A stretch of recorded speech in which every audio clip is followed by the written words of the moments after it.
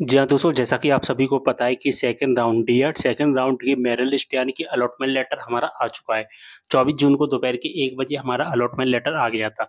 लेकिन काफ़ी स्टूडेंट के मन में ये डाउट है कि सर जो कॉलेज मिला है या हमें किसी कारणवश कॉलेज नहीं मिला या हमने जो चॉइस फिलिंग में जो कॉलेज सेलेक्ट किए थे, उन कॉलेज का आखिरकार कट ऑफ़ गया कितना है?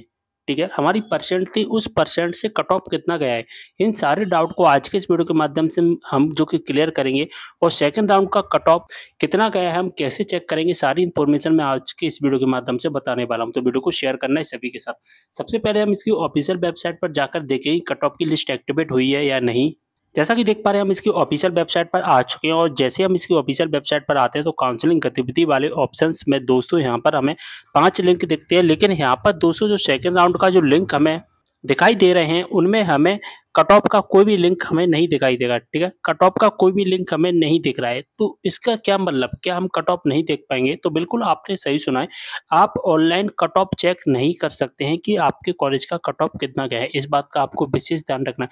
आप कॉलेज का कट ऑफ़ नहीं देख पाएँगे ऑनलाइन कि आपके कॉलेज का कट ऑफ़ गया है। अब आप सोचेंगे, सर, आप ये क्या बोल रहे हैं? हम कट ऑफ़ नहीं देख पाएँगे? तो जी हाँ बिल्कुल सही सुना तो अब आप कट ऑफ़ देखोगे कैसे? इसका भी तो कोई एक ऑप्शन होगा ना। तो दोस्तों, मैंने फ़र्स्ट राउंड में ही आपको बताया था कि ऑनलाइन कट ऑफ़ नहीं देख सकते हैं। इसका कट ऑफ़ आपको अगर देखना है, डीएड का तो आपको ऑफलाइन देखना पड़ेगा। अब ऑफलाइन देखना होगा मतलब कि आपने जो चॉइस फिलिंग में कॉलेज सेलेक्ट किए थे, उन कॉलेज में से आपको जिस कॉलेज का कट ऑफ़ देखना है, उस कॉलेज में जाकर के ही आप कट ऑफ़ देख पाएँगे। यानी कि उस कॉलेज से कॉन्टैक्ट करना, ठीक है? या फिर आप कॉलेज में चले जाना कॉलेज में जाकर के आपको पता लग जाएगा कि उस कॉलेज का आखिरकार कट ऑफ़ कितना गया है, ठीक है? आप ऑनलाइन नहीं देख पाएँगे। तो स्टूडेंट के मन में क्वेश्चन थे कि हम कट ऑफ़ नहीं देख पा रहे हैं तो मैंने यहाँ पर आज के इस वीडियो के माध्यम से क्लियर कर दिया है कि आप कट ऑफ़ नहीं देख सकते। यहाँ पर संस्थाओं तथा रिक्त सूची में कॉलेज में सीटें कितनी खाली हैं ये आप देख पाएँगे कितनी सीटें खाली हैं, कितनी सीटें खाली नहीं हैं। लेकिन आप कट ऑफ़ नहीं देख पाएँगे इस बात का आपको विशेष ध्यान रखना है। अगर आपको कॉलेज मिल गया है तो फिर आप क्या करना कि उनतीस जून से पहले पहले आप दोस्तों, यहाँ पर अपनी फ़ीस जमा कर देना।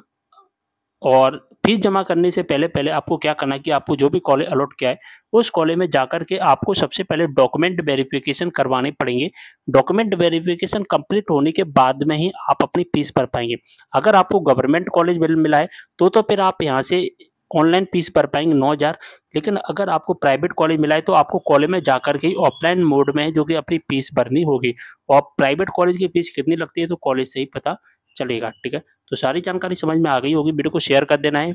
मिलते हैं अगले वीडियो में एक और जानकारी के साथ। तब तक लिए बाय।